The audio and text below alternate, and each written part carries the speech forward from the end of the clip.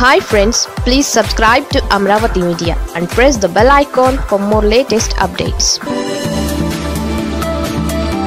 అక్కడ వామపక్షాలకు ఉన్న విలువ టీడీపీకి లేదా? తెలుగుదేశం పార్టీ అధినేత చంద్రబాబు నాయుడు సెప్టెంబర్ నెలలోనే ఖమ్మం జిల్లాలో భారీ బహిరంగ సభ పెట్టాలని భావించారు.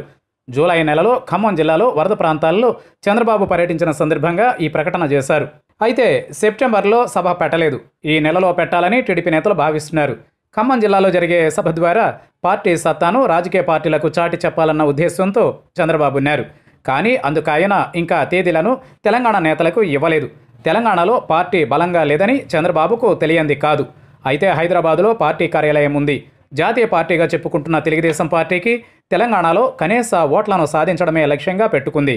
ముఖ్యంగా ఏపీ సరిహద్దు జిల్లాలైన ఖమ్మం నల్గొండ జిల్లాల్లో పార్టీకి ఇప్పటికీ ఓటు బ్యాంక్ చెదరలేదన్న విశ్వాసంతో ఉన్నారు. మునుగోడు ఉప ఎన్నిక త్వరలో జరగబోతోంది. అయినా అక్కడ పోటీ చేసేందుకు టీడీపీ నుంచి ఎవరూ ముందుకు రాలేదు. పార్టీ కూడా అక్కడ పోటీ చేయించే ఉద్దేశం లేదు.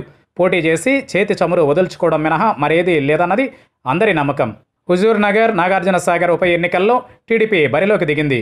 హుజూర్ నగర్లో చావా కిరణ్మాయ్ నాగార్జున సాగర్ ఉప ఎన్నికల్లో మవ్వా అరుణ్ కుమార్ పోటీ చేశారు. హుజూర్ నగర్లో టీడీపీకి ఐదు వేల ఓట్ల వరకు వచ్చాయి. నాగార్జున సాగర్లో మాత్రం రెండు వేల ఓట్లకు మించలేదు. రెండు ఉప ఎన్నికల్లో డిపాజిట్లు కోల్పోయింది.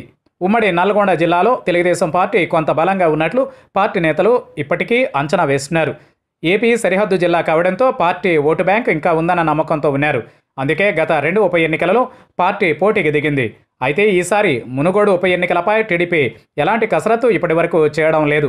పోటీ చేయడానికి ముందుకు కూడా ఎవరూ రావడం లేదు. తొలి నుంచి కమ్యూనిస్టులు కాంగ్రెస్కు పట్టున్న నియోజకవర్గం కావడంతో టీడీపీ పోటీ చేయకపోవడమే బెటర్ అన్న ఆలోచనలో ఉంది. అయినా మునుగోడు ఉప ఎన్నికలో టీడీపీ మద్దతు కోసం ఎవరూ ప్రయత్నించడం లేదు. బీజేపీ ఈ ఎన్నికలో మద్దతు కోరుతుందని చంద్రబాబు అంచనా వేశారు. కానీ కోమటిరెడ్డి రాజగోపాల్ రెడ్డి మాత్రం అందుకు ససేమేర అన్నట్లు తెలిసింది. చంద్రబాబు పార్టీతో పొత్తు పెట్టుకోవడం వల్ల నష్టం ఎక్కువని ఆయన అధినాయకత్వానికి చెప్పినట్లు సమాచారం. కమ్యూనిస్టుల మద్దతును టీఆర్ఎస్ తీసుకుంది.